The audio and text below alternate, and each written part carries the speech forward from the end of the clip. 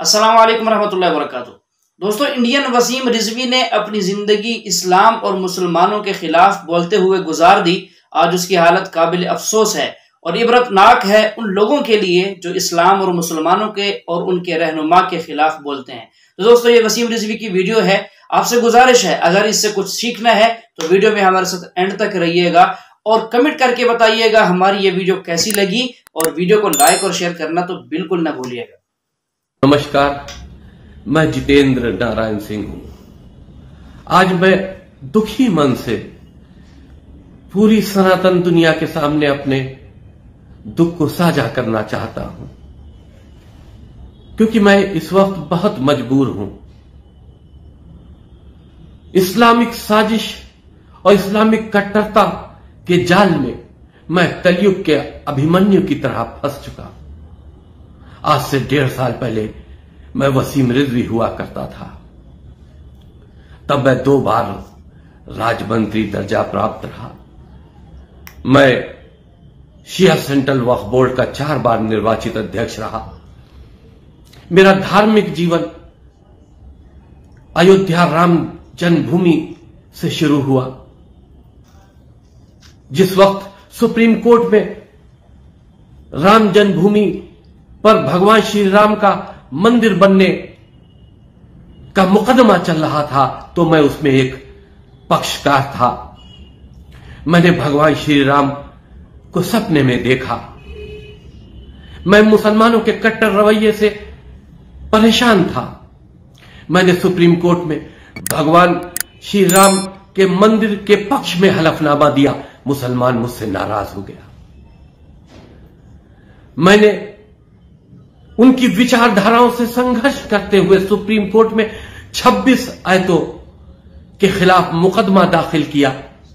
क्योंकि ये वो 26 कुरान की आयतें हैं जो गैर मुसलमानों को काफिर कहती हैं, सनातन धर्म वालों को काफिर कहती हैं, उनके जीने के अधिकारों को छीनती हैं, उन पर जुल्म जारती करने की शिक्षा देती हैं। तब तो मुसलमान मेरा और ज़्यादा दुश्मन हो गया। मेरे सर की कीमत लगने लगी।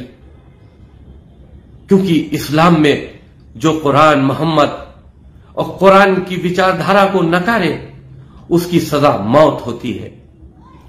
दाऊद इब्राहिम जैसे आतंकी व्यक्ति के गुर्गे मुझे मारने आए, मेरी हत्या करने आए, जिन्हें दिल्ली में क्राइम ब्रांच ने पकड़ा। कश्मीरी आतंकवादी मेरी जान के दुश्मन हैं। पाकिस्तान की आतंकी संगठनें हमको धमकियाँ देती हैं। मेरी जान की दुश्मन है। इस्लाम धर्म के मानने वालों के लिए। उनकी तलवारें मेरी गर्दन को तलाश रही हैं, लेकिन मैं घबरा नहीं रहा था और न आज घबराया हूँ। मुझे चार महीने हरिद्वार की जेल में रखा गया। मैं नहीं टूटा। मैं जितेंद्र नारायण सिंह बनकर हरिद्वार जेल में गया था और जितेंद्र नारायण सिंह बनकर हरिद्वार जेल से वापस आया। मैं चाहता था कि सनातन धर्म में वापस आकर, घर वापसी करके, सनातन धर्म के लिए जो मानसिकताएँ दुश्मन है, जो हमारे देवी देवताओं का अपमान करती हैं उनकी विचारधाराओं से हम संघर्ष करेंगे एक योद्धा बन के लेकिन आज हम बहुत मजबूर हो गए। क्योंकि पिछले एक डेढ़ सालों से जब से हम सनातन धर्म में आए हैं, मेरे खिलाफ फर्जी मुकदमों की एक बाढ़ आ गई है। बेहिसाब फर्जी मुकदमे दाखिल किए जा रहे हैं। मुस्लिम मुल्ला कर रहे हैं, आतंकी संगठनें कर रही इस्लाम के मानने वाले लोग कर रहे हैं। लेकिन मैं घबरा नहीं रहा। क्योंकि मेरा जीवन एक संघर्ष है और सनातन धर्म के लिए मैं अपने जीवन को दे चुका हूँ।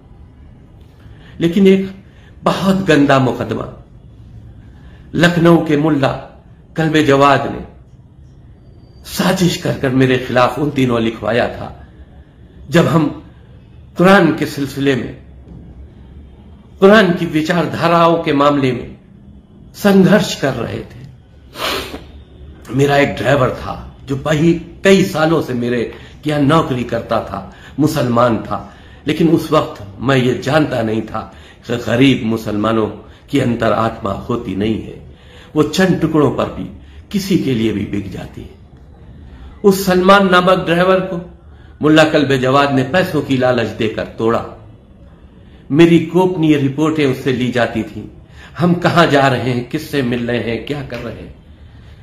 पूरी मेरी सारी गोपनीय रिपोर्टें मुल्लाओं के व्यक्तियों द्वारा मुल्लाओं तक पहुंचाई जाती थी। मुझे जब इस साजिश का खुलासा हुआ तो मैंने उस ड्राइवर को नौकरी से निकाल दिया। वो ड्राइवर सीधा मुल्ला कलबे जवाब जो लखनऊ का एक आतंकी मुल्ला है, जो कश्मीरी आतंकियों को मदद पहुंचाता था गैर कानूनी तरीके से मदद से चलाता है। उसकी कट्टरपंथी विचारधारा, जो उसका कट्टरपंथी एम्पायर है, वो बचा रहे। इसलिए हर हुकूमत से समझौता करके हुकूमत के करीब रहने की कोशिश करता है, ताकि वो बचा रहे।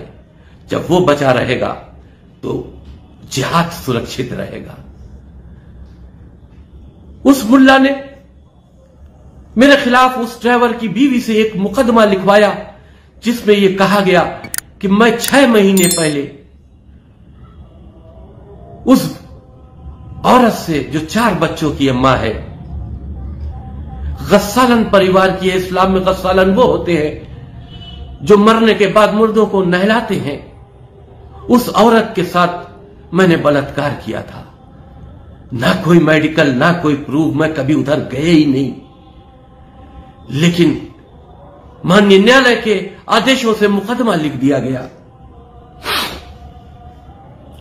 पैरवी होती रही उसकी जाँच, एक कट्टरपंथी आयु जो शहादतगंज में नियुक्त था एसएसआई पद पर। एस एम जैदी उसको दे दी गई। जो मुख्तार अंसारी का भी करीब है, पुराने लखनऊ में जब मुख्तार अंसारी की प्लाटिंग हुई तो उसकी ज़मीन पर मकान बनवा कर रहता है।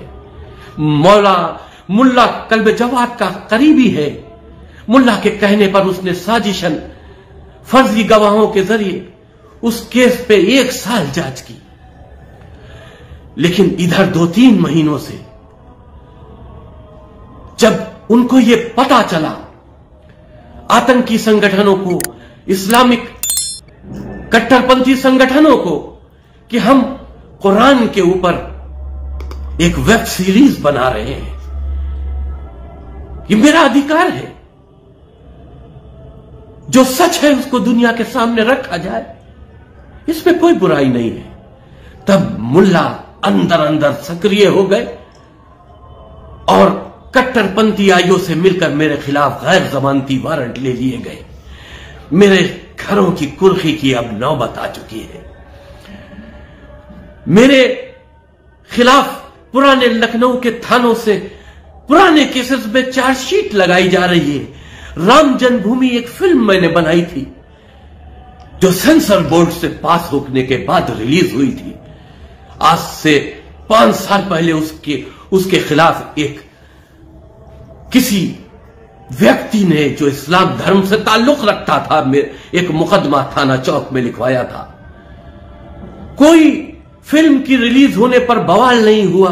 फ़िल्म सेंसर बोर्ड से पास है। लेकिन उसके बावजूद, एक दो महीने पहले उसमें मेरे खिलाफ चार्जशीट लगा दी गई। शहादतगंज थाने से दो दो मुकदमों में चार्जशीट लगा दी गई। मैं बहुत परेशान हूँ, मेरे खिलाफ फर्जी मुकदमे किए जा रहे हैं। मैं पिछले दो महीने से जो मेरे संगठन मेरी मदद करते थे, जो राम जन्मभूमि में और दूसरे इश्यूज़ में मेरा साथ देते थे।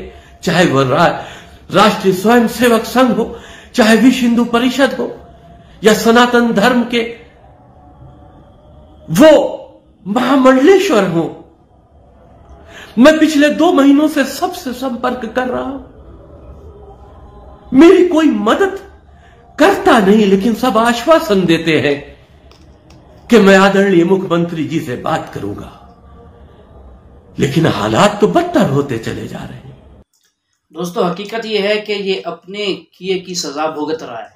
इसने खुद ये काम किया था, इस्लाम को छोड़ा, मुसलमान था पहले, और उसके बाद सिर्फ़ छोड़ा नहीं, इस्लाम के खिलाफ हाथ धो के बैठ गया, और इसने इस्लाम और मुसलमान के खिलाफ बहुत बातें की।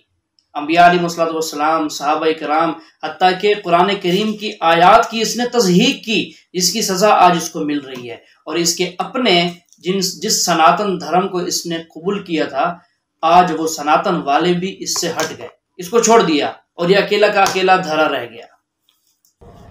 मैं एक अनाथ की ज़िंदगी सनातन धर्म में घर वापसी के बाद बिता रहा हूँ। लेकिन इन बातों से मेरी इस्लाम धर्म के मानने वाले मुल्ला जो मुझे तकलीफें दे रहे हैं, वो कट्टरपंथी मुल्ला खुश ना हो, क्योंकि ये मेरे सनातनी परिवार की अंदर की बातें हैं।